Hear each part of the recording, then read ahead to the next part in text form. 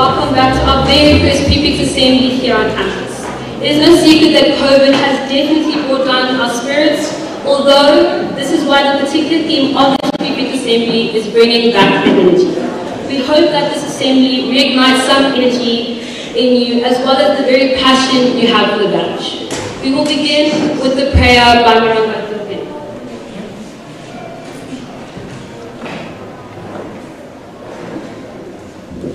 Hey, everyone, please bow your heads. Dear God, I thank you for gathering us here today safely under this roof. I ask that you just bless each and every person in this hall. May we strive together through these tough times and please keep us motivated. Amen.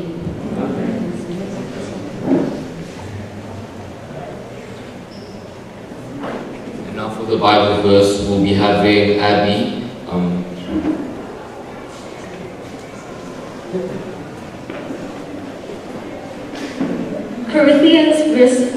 lines 16 to 18. So we do not lose heart. Though our outer self is wasting away, our inner self is being renewed day by day. For this light momentary affliction is preparing for us an eternal weight of glory beyond all comparison, as we look not to the things that are seen, but to the things that are unseen. For the things that are seen are transient, but the things that are unseen are eternal.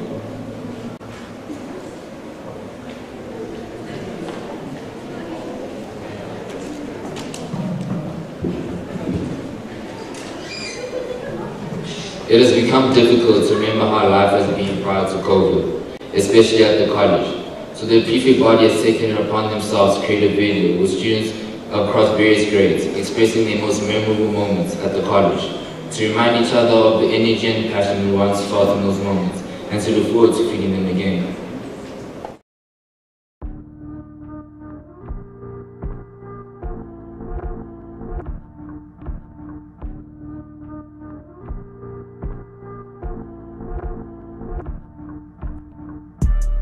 College? So my most memorable moment at the college definitely had to be when um, I was in grade 10 with the rugby boys and we won our rugby league.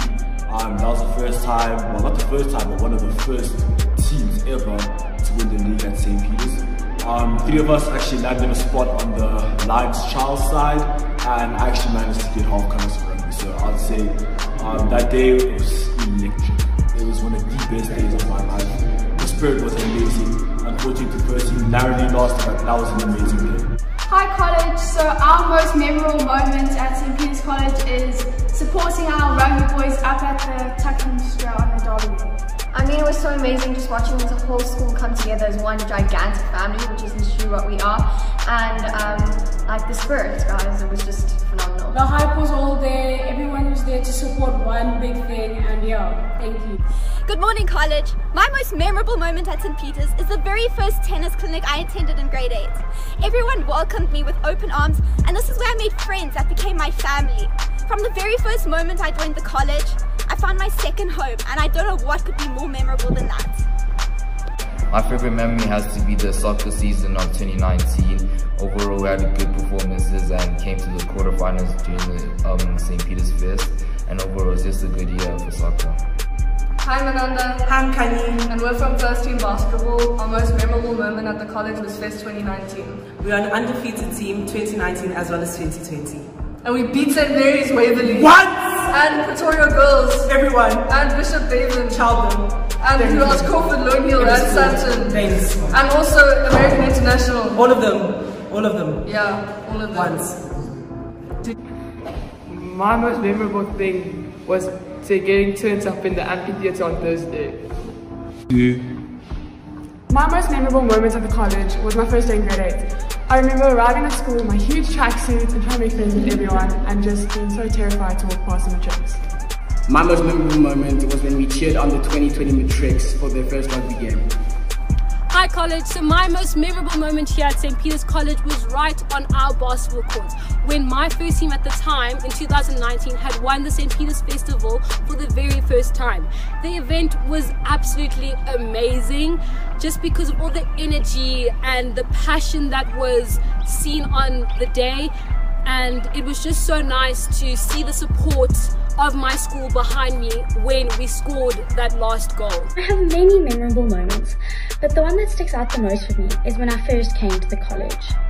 There were many people that I did not know and I was very shy. But I met the most amazing people and I'm still friends with them to this day.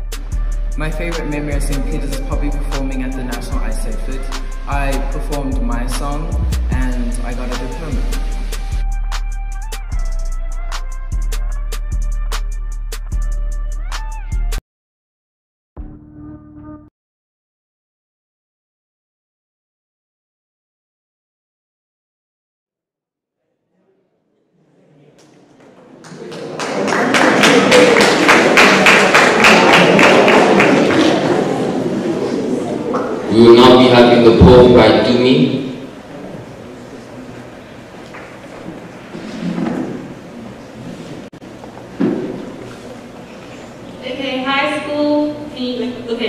I'm going to be reading a poem by Michael Sage. I would have written my own, but life's been tough. So it's called Keep On Keeping On.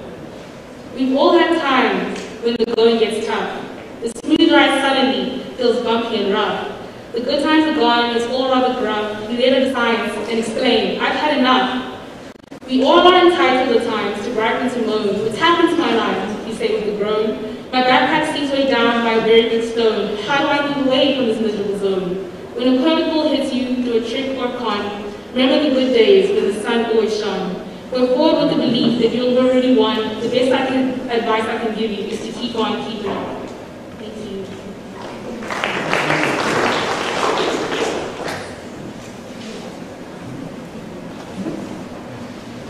We will now be having our head girl and head boy, Prestige and Justine, addressing us on the theme of bringing back the energy.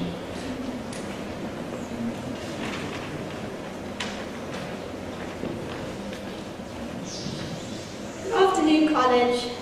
Wow, how I miss the good old days. Afternoons and weekends spent on the sports fields, screaming our lungs out for our first team rugby, rugby boys at the Derby Day. Thanks, sir. Watching it all as our talented students dance up on stage, or being able to hug our friends whenever we wanted to. Days when there was nothing, where there was more smiling and less worrying. A year ago, nobody could have possibly imagined the situation we find ourselves in today. I guess we don't realize how good the good old days were until they're gone. Something that this pandemic has taught me is that you need to cherish and seize every opportunity you can get. Because before you know it, everything, everything can suddenly change. Even though things may be really tough right now, the struggle you're in today is developing the strength you need for tomorrow. Being challenged in life is inevitable, but you have the choice to decide how you will react to these situations. So school, how are we going to react to this situation? Just as all families come together in trying times, we as a St. Peter's family need to unite and carry each other through this most difficult time. And let's remember that family means no one gets left behind or forgotten. Something that I want to leave with you today is that although the world is a very scary place right now, at least we have each other. Let's make the most of what we have and carry on making good memories that we can cherish forever. So together, let's seize this opportunity because opportunities like this don't come twice. Be positive, be hopeful, and bring back the energy. Thank you.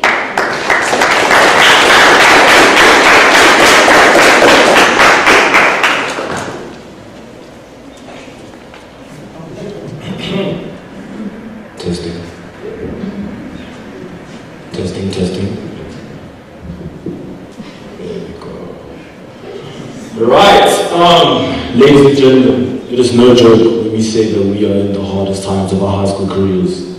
But yet, the saying is that high school is supposed to be the best years of your life. What does that even mean? Two contradictory statements.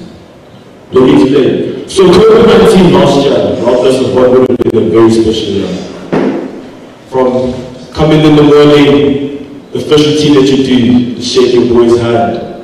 Or giving that special hug to that one special person that's been on your mind since you went to bed the previous night. But nowadays, but nowadays, giving a hug to someone will earn you a front row seat to a Friday detention. but that's not even the worst part. Academically, the matrix are being bombarded with assessments every second day. Grade 11s, they know that the marks that they produce this year will be essential for the university entrance. Grade 10s, this is when you decide your future. This is when you see where you, which direction you want to take for the future. Grade 9s, grade 8s, same thing.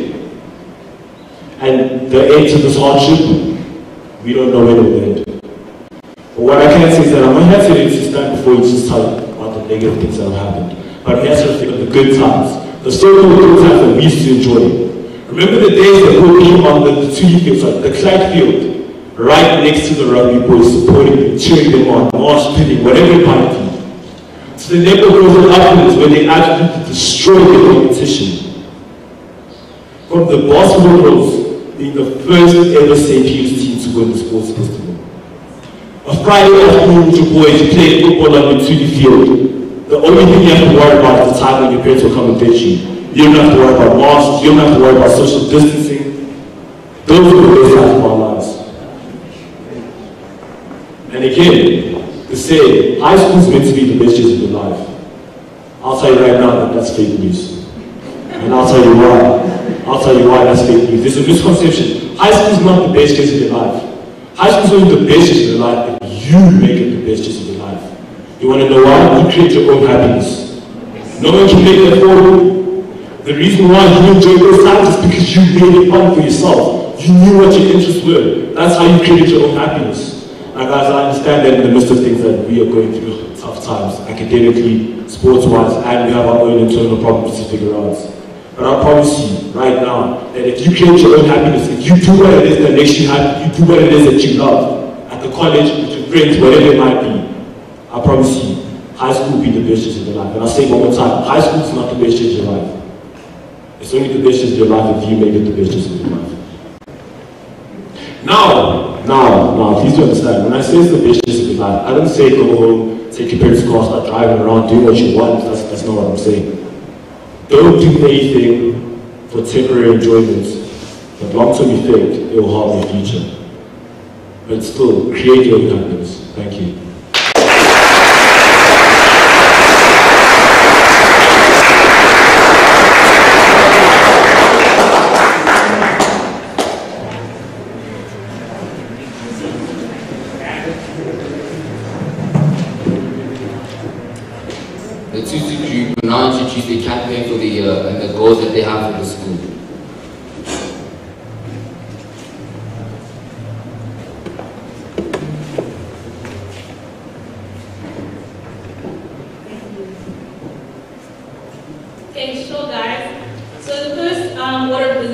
Is the name change. We are now going by unfiltered. I'll tell you why just now. So you, you may have noticed that your tutor groups have changed from being mixed grades to now being solely your own grade. This is to carry out the aim, which is to create a space where each grade can discuss, discuss specific to topics for like specifics to them and their needs. This is to create a, I know it's stressing because you guys are used to like talking with the older grades. What we notice is that when you're mixed, you some people may get overshadowed by other people's problems. We want you guys to focus on the problems within your grade that you might be experiencing at that stage of your life. So now it'll be tutor groups now, unfiltered groups, are now going to be happening at the end of each of your grade heads in your tutor group, like specific groups for each grade. And the topics will vary depending on what grade you're in. For grade 8, we're going to be focusing on um, connectivity, creating bonds, being open and accepting change, and then being willing and preparing yourself to learn and be exposed to candid depictions of life and controversial topics. Grade 9 is going to be focusing on respecting yourself, those around you, and where you come from, becoming self-aware and reflecting, and learning how to effectively advertise your brand without losing authenticity. Grade 10s, y'all here, are going to be practicing consent in your day-to-day lives, both receiving and giving, forming boundaries, and learning how to protect your energy. Grade 11, we're going to be focusing on mental health and being aware of your own mental health and being empathetic towards others' mental health. Emotional intelligence, coping mechanisms of stress, anxiety, and lows, and finding comfort with those around you. Grade 12, mental health, you'll know, you'll know why when you get to grade 11 and 12. Um, turning hobbies into personal future careers or side hustles, kickstarting your side hustles, and prioritizing doing things that bring out your most authentic self. Today's aim in your unfiltered group is to focus on you guys' personal mental health, and I'll tell you why just now. During this transition from online school to in-person school, now it's this topic because we've noticed people attend and are struggling under this huge part of work. So now I'm going to play a video speaking on how you can maintain and practice a good mental health. Thank you.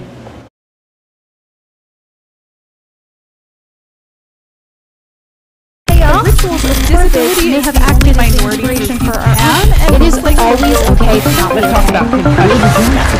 Thank you. When I was a kid, my mom and I made this deal. I was allowed to take three mental health rest days every semester as long as I continued to do well in school. This was because I started my mental health journey when I was only six years old. I was always what my grade school teachers would call a worrier, but later on, we found out that I have trauma induced anxiety and clinical depression. This made growing up pretty hard. I was worried about a lot of things that other kids weren't, and school got really overwhelming sometimes. This resulted in a lot of breakdowns, panic attacks. Sometimes I was super productive, and other days I couldn't get anything done. This was all happening during a time when mental health wasn't being talked about as much as it is now, especially youth mental health. Some semesters I used all of those rest days to the fullest. Others, I didn't need any at all. But the fact that they were always an option is what kept me a happy, healthy, and successful student. Now I'm using those skills that I learned as a kid to help other students with mental health challenges. I'm here today to offer you some insight into the world of teenage mental health. What's going on? How did we get here? And what can we do? But first, you need to understand that while not everyone has a diagnosed mental illness like I do, absolutely everyone, all of you have mental health. All of us have a brain that needs to be cared for in similar ways that we care for our physical well being. Our head and our body are connected by much more than just our neck, after all. Mental illness even manifests itself in some physical ways, such as nausea, headaches, fatigue, and shortness of breath. So, since mental health affects all of us, shouldn't we be coming up with solutions that are accessible to all of us? That brings me to my second part of my story. When I was in high school, I had gotten pretty good at managing my own mental health. I was a successful student, and I was president of the Oregon Association of Student Councils. But it was around this time that I began to realize mental health was a much bigger problem than just for me personally. Unfortunately, my hometown was touched by multiple suicides during my first year in high school. I saw those tragedies shake our entire community. And as the president of a statewide group, I began hearing more and more stories from students where this had also happened in their town. So in 2018, at our annual summer camp, we held a forum with about 100 high school students to discuss teenage mental health. What could we do? We approached this conversation with an enormous amount of empathy and honesty, and the results were astounding. What struck me the most was that every single one of my peers had a story about a mental health crisis in their school, no matter if they were from a tiny town in eastern Oregon or the very heart of Portland. This was happening everywhere. We even did some research and we found out that suicide is the second leading cause of death for youth ages 10 to 24 in Oregon. The second leading cause. We knew we had to do something. So, over the next few months, we made a committee called the Students for a Healthy Oregon, and we set out to end the stigma against mental health. We also wanted to prioritize mental health in schools. With the help of some lobbyists and a few mental health professionals, we put forth House Bill 2191. This bill allows students to take mental health days off from school the same way you would a physical health day. Because oftentimes that day off is the difference between feeling a whole lot better and a whole lot worse. Kind of like those days my mom gave me when I was younger. So, over the next few months, we lobbied and researched and campaigned for our bill, and in June of 2019, it was finally signed into law.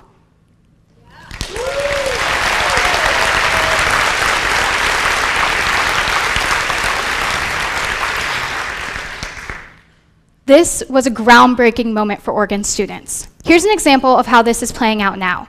Let's say a student is having a really hard month. They're overwhelmed, overworked, they're falling behind in school and they know they need help.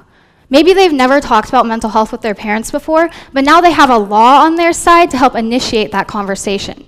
The parent still needs to be the one to call the school and excuse the absence, so it's not like it's a free pass for the kids.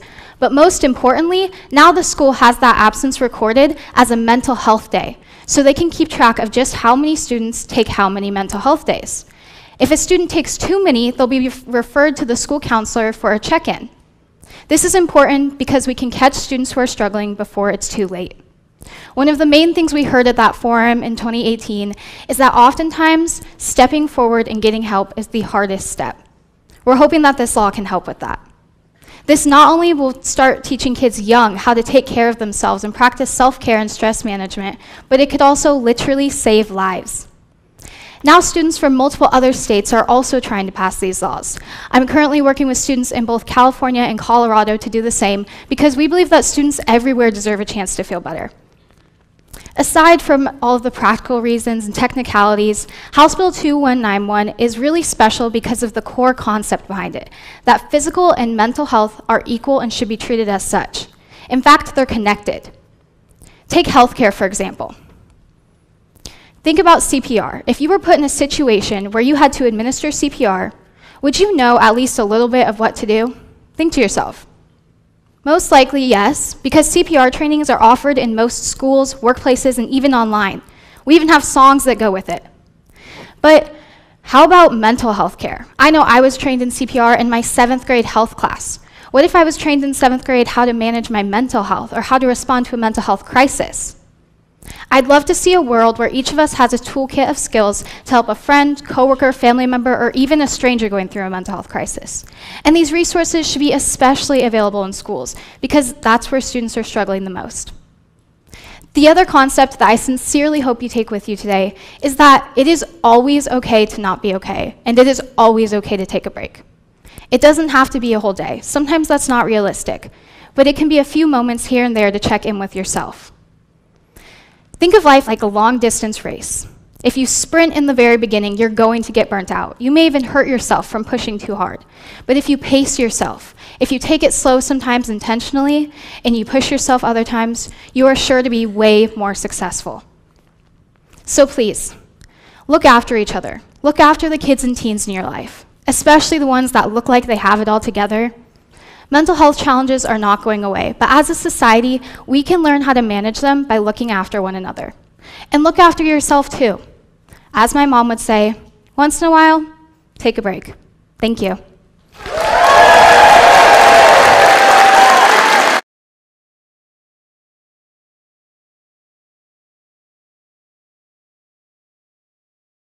I hope you guys all attention to that video and the importance of keeping aware and keeping safe your mental health.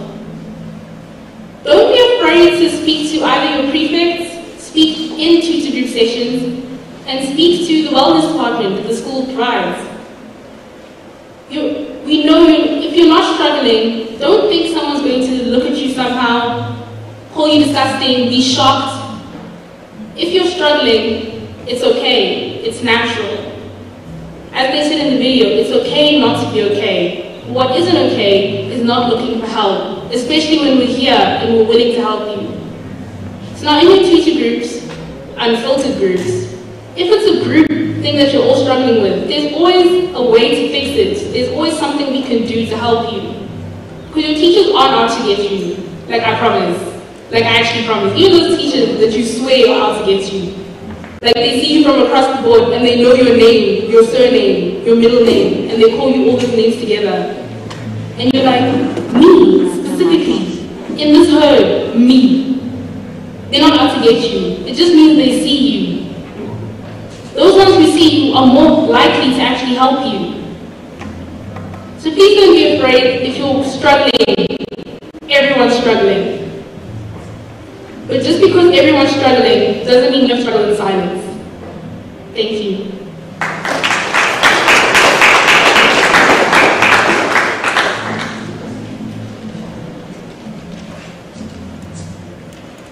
Okay. Hello everyone, my name is Shi Xuanyu, as known as Abby, and I am here on behalf of the User Committee. Yay! So, I am here to scout for the best student, the smartest student, and the most hardworking student of the college, which we are looking for peer tutors. And this year we're doing it differently because anyone that has a passion for teaching or who wants to earn a service reward can join. So um, yes, I'm not wrong. Peer tutor is now counts as a service reward. So if you want to have something on your blazer, you can think about it. So anyways, if you're interested, hit me up at peertutor at stpeterscollege.co.za or my personal email account, which is shihh at stpeterscollege.co.za. Thank you so much.